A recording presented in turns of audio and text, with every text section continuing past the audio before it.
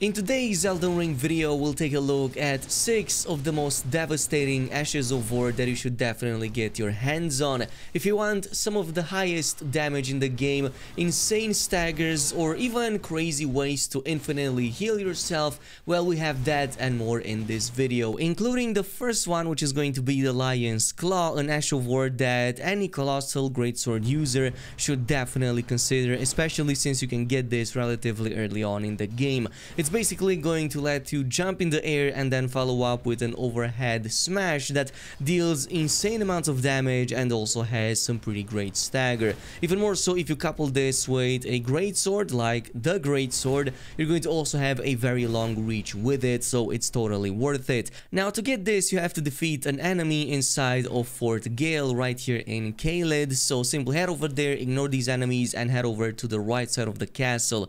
Jump onto the side of the platforms until you reach this area with the ladder and you need to reach the top because behind these walls there's going to be one of these cat-like enemies that if you defeat will give you those ashes of war. Now there's a few reasons why I really like this ash of war especially early on but it's also viable definitely in the end game. First you can use it from pretty far away and coupled with a great sword you have a very long reach so you will get enemies way before they even reach you. You also get to stagger them quite easily for most enemies and even bosses it takes no more than a couple of shots to fully stun them and you can immediately follow up with a critical strike for some even more massive damage. But because the way I apply the affinity to this as a non-magic type of affinity, this will still leave room for applying greases and enchants. Like for example going in with some freeze effects or maybe a blood flame to provide some extra damage is totally possible with this Ash of War and it leaves room for a ton of damage, stagger and pretty much everything you need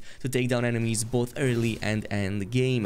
Now the next Ash of War is the Raptor of the Mist. This is something that you get automatically from the second invader encounter that you fight at the Lucaria Academy during Yura's questline. So you do need to help them and then you're gonna automatically get this at the end of that, well, portion of the questline.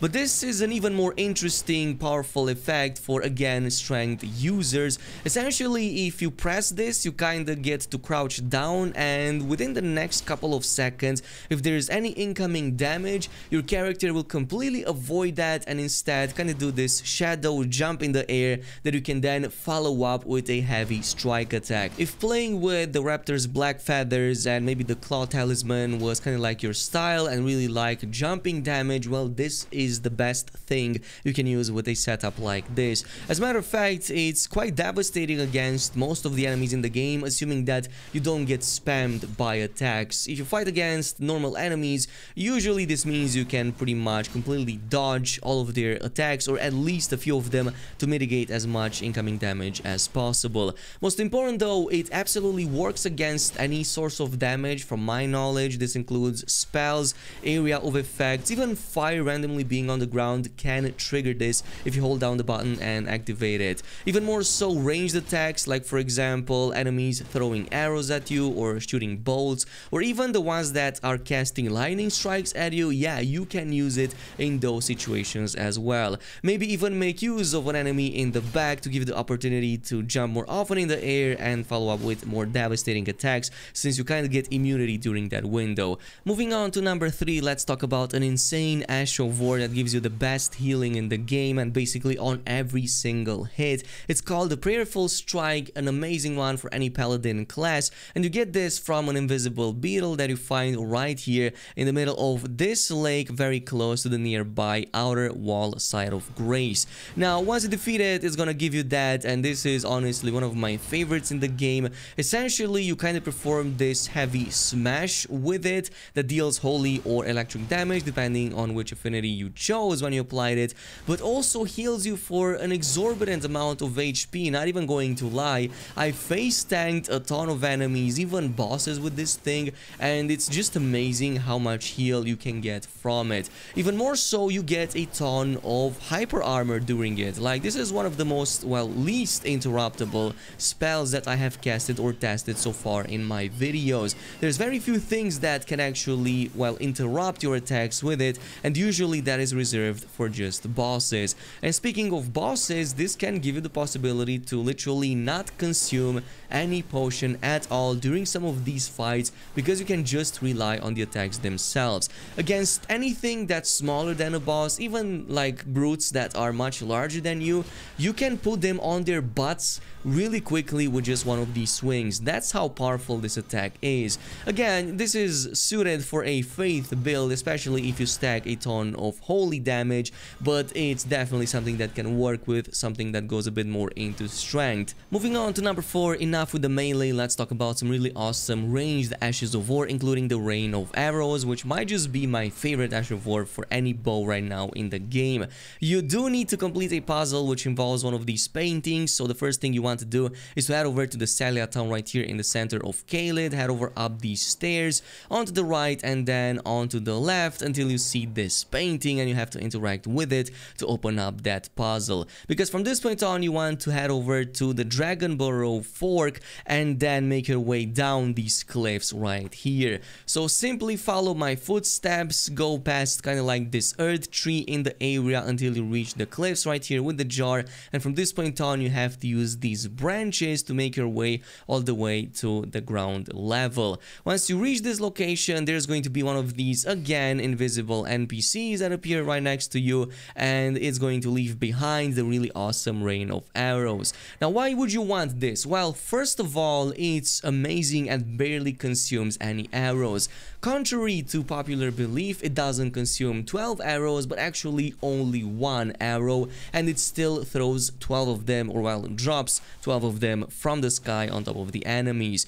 Literally any type of arrow that you have, be it like with freeze effects, fire, poison, or even bleed, you're gonna throw 12 of these in total against the same enemy. Which you know what it means against big enemies and bosses, this is going to proc those bleeds and other status effects like like there's no tomorrow. Especially if you go with the ones that provide these bleed up effects against some of the bigger bosses. It's one of the best options in the game, especially with a longbow. You have a long reach, enemies don't even detect you many of the times, and you're free to just throw them up deal a ton of damage and by the time the enemy even comes close to you, you're going to take a huge chunk of their HP, maybe even fully kill them.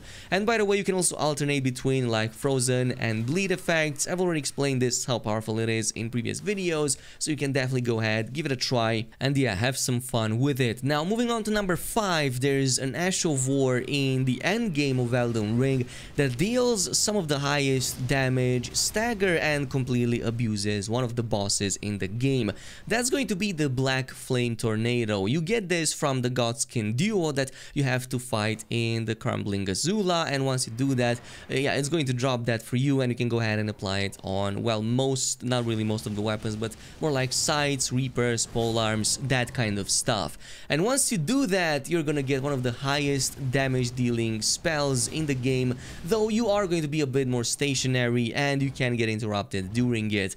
But if you fight properly or if you can stagger the enemy, this is absolutely crazy. It can easily deal way over 10,000 damage even with an unoptimized build against one of these dragon enemies, but against Malenia, you're going to just abuse that boss. That's how trivial that encounter will become if you have this upon you. Reason being is because the outer section of the spell, so where the black flames are kind of circulating, will also stagger the enemy, especially Malenia, which is very flimsy and you're gonna be able to also throw her up in the air when you do the final strike in the ground and that's gonna deal massive damage and completely interrupt her attacks. If you use something like a Mimic here, it's even crazier so definitely something that has carried me through that fight and many other fights a lot. And this finally brings us to number 6, probably the most broken Ash of War right now in Elden Ring which is going to be unfortunately the Flames of the Redmanes which you get quite easily and early from an invisible scarab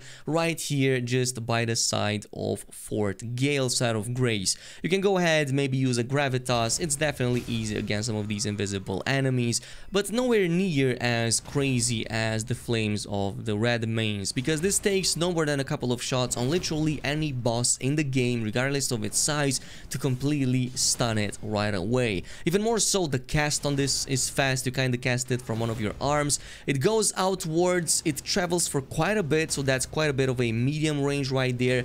And if you hit it just two times, any boss in the game and enemy will either die or completely get stunned. Especially if you put it on a Misericorde, 140% critical on it means, well, thousands of damage super easily. Funny enough, it also works even on enemies that have huge fire resistances, so even though you might deal like 25 damage against the boss with 10k HP, it's going to still stagger them in the same amount of hits as if they weren't resistant to fire. So again, not really sure if this is intended or if it's going to get fixed, but it's been a few patches and we didn't get anything in this regard, so who knows, maybe it will continue to be like this forever. This is it, thank you so much for watching, and by the way, we're trying to reach 400k subs by the end of 2022. We set that goal at the start of the year, and it looks like it's totally possible with your support. Only about 10% of you guys who watch these videos are even subscribed to the channel, so if you want to like show your support or just like press a quick button, I would appreciate the heck out of you if you did that right now. And I'll see you guys next time, so peace out.